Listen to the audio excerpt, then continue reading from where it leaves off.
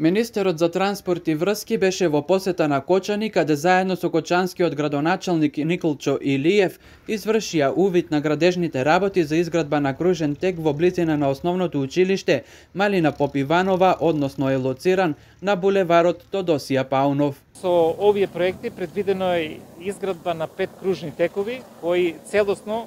ќе го регулираат текот на собраќајот по овој булевар. Што значи дека со овој проект успеваме најпрвин да ја подобриме безбедноста на сообраќајот во по булеварот Тодосија Паунов, а од друга страна придонесуваме за подобар проток на сообраќајот по овој булевар. Ова навистина е многу важен проект, бидејќи по овој булевар се движат доста возила, доста е прометен и има многу вкрстување на улици споредни кои навистина заради безбедноста, односно заради поминувањето преку булеварот беше доста небезбеден и имаше токму на овој дел и често пати собраќајки со поголеми материјални штети. Од тие причини сметам дека со ова решение решаваме еден голем проблем на сите граѓани на општина Кочани и сите оние кои се движат во овој дел. Овој проект пет кружни текови е поддржан, финансиран со од буџетот на општина Кочани, поддржан со средства од централната влада со 6 милиона денари, зашто сметам дека со оваа поддршка, со оваа помош што ни ја даде Централната влада, успеавме да реализираме поголем дел од кружните текови кои што беа планирани на овој булевар. Исто така, голема благодарност до Централната власт, која исто така поддржа уште реконструкција, целосна реконструкција уште на две улици. Тоа е улицата Гошо Вегентиев и Раде Кратовче, кои на вистина се во очајна состојба и за истите веќе јав, тече од петокот тече јавната набавка за избор на најповолен изведувач, со што ќе се изврши реконструкција и на овие две улици. Со овој кружен тек треба дополнително да се зголеми безбедноста во сообраќајот, каде имало во неколку наврати сообраќајни несреќи со материјална штета. Драго ми е што денеска сум овде на стартот на оваа градежна сезона заедно со градоначалникот да направиме увид во градежните зафати кои што се вршат во централното градско подрачје на територијата на општина Кочени и со сите проекти кои што ги работиме заеднички со цел да го подобриме квалитетот на животот на граѓаните токму во овие средини каде што концентрацијата на граѓани е најголема. Не случајно владата дава подршка на општините поради тоа што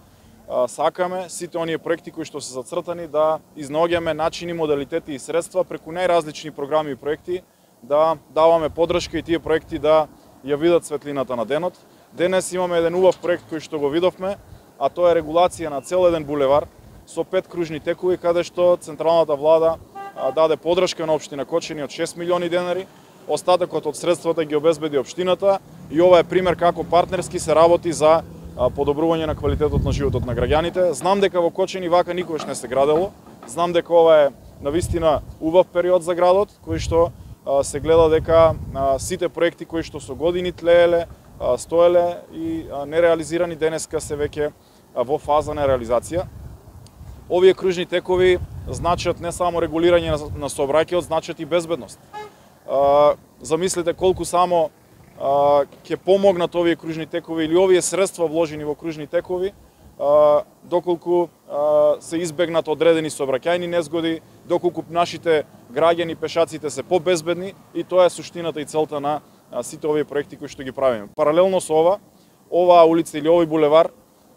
веќе е влезен во првиот повик и е избран изведувач преку програмата на Светска банка кој што Министерството за транспорт и врски исто така дава подршка на општините и ќе биде реализиран уште веќе во текот на наредните денови ќе започне целосна реконструкција на овој булевар и секако уште две наредни улици кои што ги аплицира општина Кочени кои што влегуваат во вториот повик и ќе бидат во тек на реализација во наредниот период. Така што можам да споменам дека поддршката од централната влада доаѓа и во делот на решавање на ромската населба, Наскоро започнуваме со изградба на нова стамбена социјална зграда, каде што имаме 35 нови стамбени единици за 35 наши сограѓани социјално ранливи категории, со што можам да кажам дека на вистина голем дел на проекти кои што ги работиме се подршка за општините, за граѓаните, но овде секако ни е потребна и координацијата со локалната власт. Ние ќе продолжиме понатаму, заедно со градоначалникот да соработуваме и да работиме со цел да ги решаваме најсуштинските